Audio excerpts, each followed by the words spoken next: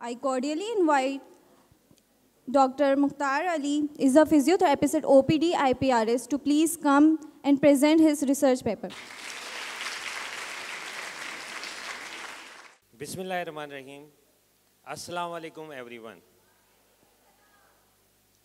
I would like to appreciate organizers and Dr. Asif Gulzar Sheikh Saab for such a wonderful event.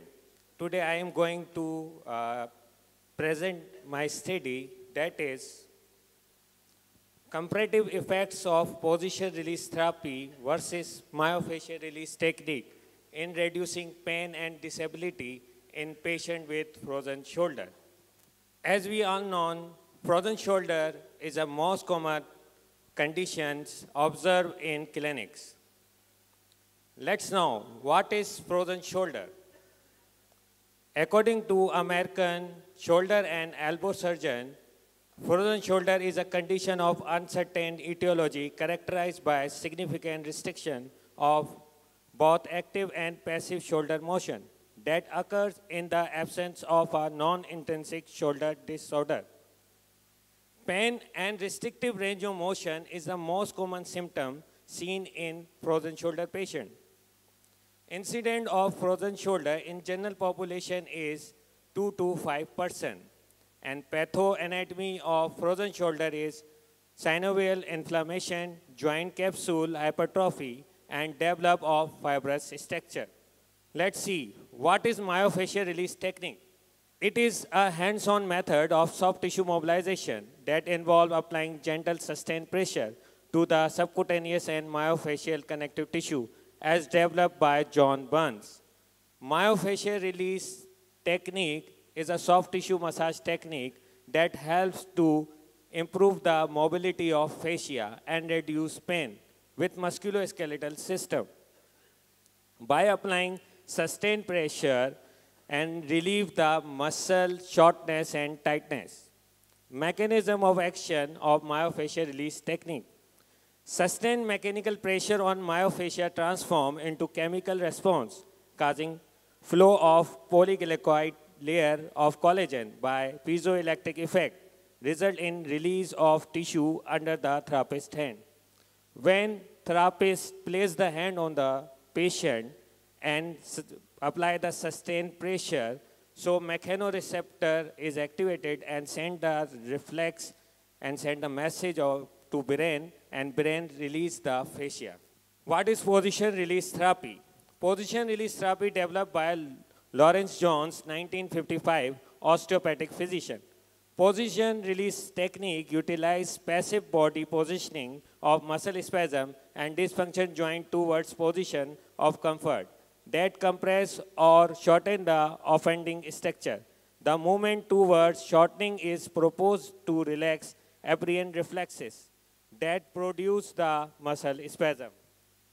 In position release therapy, first locate the tender point and then position of comfort and apply the pressure for 90 seconds. For example, tender point present in pectoralis major muscle.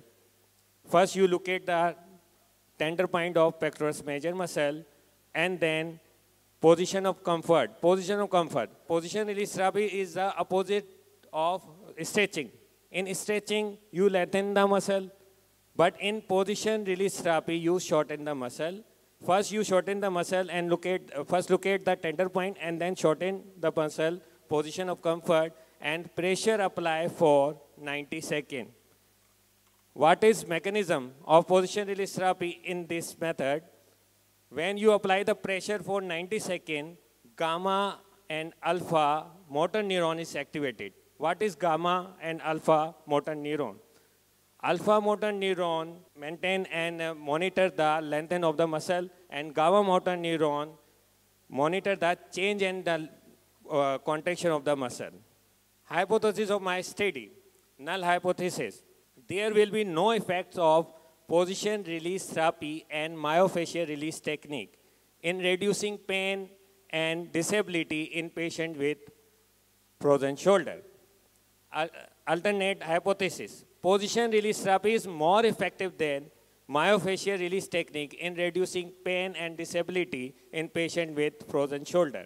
Second alternate hypothesis is myofascial release is more effective than position release therapy in reducing pain and disability in patients with frozen shoulder. Material and method. It was an experimental study conducted in tertiary care hospital. Duration of the study is six months. Participant of the study, individual with frozen shoulder. Sample size was 30 and sampling technique used simple random technique. Sample selection, inclusion criteria, both male and female subject with age group of 40 to 65 years, suffering from adhesive capsulitis based on a referral from orthopedic surgeon. Exclusion criteria, patient with rotator cuff tear, fracture in and around shoulder, peripheral neurological involvement in the upper extremity. Assessment tool used in my study, shoulder pain and disability index, visual analog scale, and goniometer. Disability assessed by shoulder pain and disability index, pain severity assessed by visual analog scale, and goniometer used for range of motion. This is an assessment procedure. How to conduct my study. Flow chart of the study. In this chart, number of population. Firstly, you conduct the, you consent form, fill the participants, and number of population is 30. And uh, after number of population conduct, the test measurement VAS scale, SPADI, and goniometer. This is a pre-treatment assessment before treatment assessment. And then randomized allocation with the help of concealed envelope method by divided into two group, experimental group A and experimental group B. Group A, number of participants is 15 and group B, number of participants is 15. Group A receive intervention position release therapy plus exercises like pendulum exercises, shoulder pulley exercises, shoulder wheel exercises, and band exercises. Group B received myofascial release technique plus exercises and after intervention, post-treatment assessment performed. Post-treatment assessment, VAS, scale, SPADI, and goniometer. Pain assessed by VAS, disability assessed by SPADI, and range of motion assessed by goniometer. After post-treatment assessment, statistical analysis performed with the help of SPSS version 23. This picture shows position release therapy application method. Any idea which muscle release in this picture? Anyone? Yes, latissimus dorsi muscle. And then how to apply myofascial release therapy for pectoralis major muscle. How to apply myofascial release for subscapularis muscle. Myofascial release for serratus anterior muscle. Results. Table 1 shows peer t-test of VAS and SPADI scale for position release therapy. This is easy. Okay, understand. Uh, PRT test determined to uh, significant improvement within a group. Okay, first pair is shows VAS and second pair shows SPADI.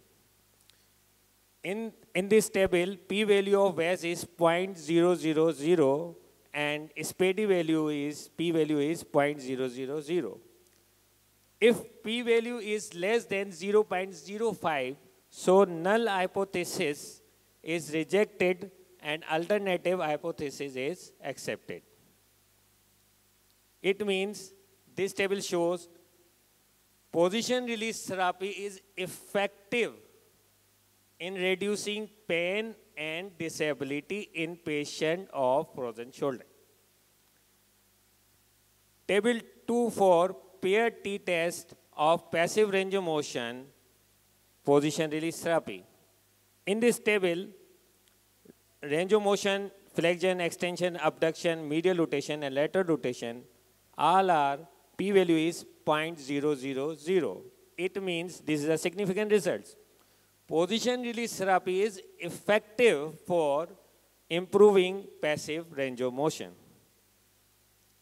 Table 3 shows pair T test of active range of motion for position release therapy.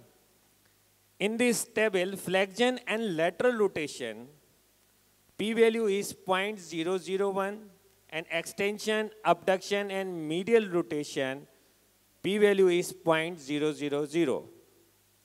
Less than 0.05, this is a significant result. result. It, means position release therapy is more effective to improve active range of motion. Table 4 shows pair T test of VAS and SPADI scale for myofascial release therapy. In, in this table, pair 1 is VAS and pair 2 is SPADI, and p-value of both VAS and SPADI is 0.000. It means significant results, null hypothesis is rejected, and alternative hypothesis is accepted. Table 5 shows pair T test of passive range of motion for myofascial release therapy. In this table, all ranges including flexion, extension, abduction, medial rotation, and lateral rotation, p-value is 0.000. It means this is a significant result. It means myofascial release is effective to improve the passive range of motion. Table 6 shows pair T test of active range of motion for myofascial release therapy. Ranges flexion, extension, abduction, medial rotation, and lateral rotation. Flexion, extension, abduction, and lateral rotation, p-value is 0.00, but medial rotation p-value is 0.088. This is not significant. It means myofascial release therapy is more effective in active flexion, extension, abduction, and lateral rotation, and little effective in medial rotation improvement. Table 7 shows independent t-test of VAS and SPADI scale. What is independent t-test? Independent t-test uh, determine the significant, significant of between two groups. And SPADI, p-value is 0.000 and p-value of SPADI is 0.01. This is a significant null hypothesis is rejected and alternative hypothesis is accepted. Table 8 means, uh, shows mean and standard deviation of passive range of motion of both group. Here you observe all range of motion in B group is uh, increases as compared to group A. Table 9 independent t-test of passive motion. Conclusion. Present study accepted the hypothesis that myofascial release therapy is more effective than position release therapy in reducing pain and disability in patients with frozen shoulder.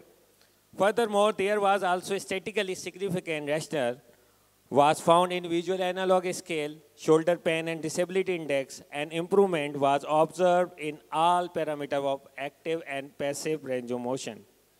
Recommendation. Study recommended conducted further researches to study intermediate and long-term outcome of myofascial release therapy and position release therapy on a special population that is like diabetes mellitus. These are references. Thank you.